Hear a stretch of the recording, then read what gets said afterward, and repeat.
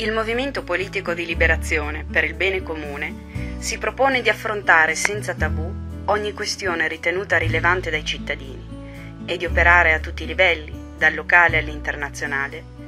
per contrastare la globalizzazione voluta dalla grande finanza,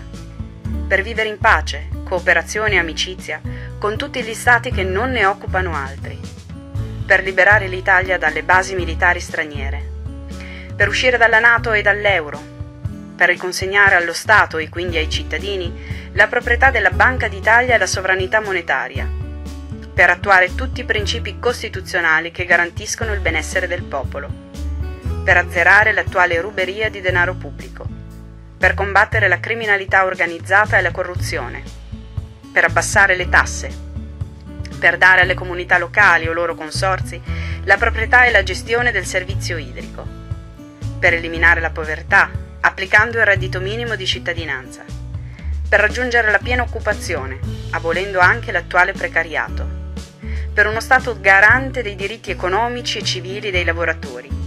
per tagliare gli sprechi di denaro pubblico, di energia e di materie prime e seconde, per sviluppare le fonti energetiche rinnovabili,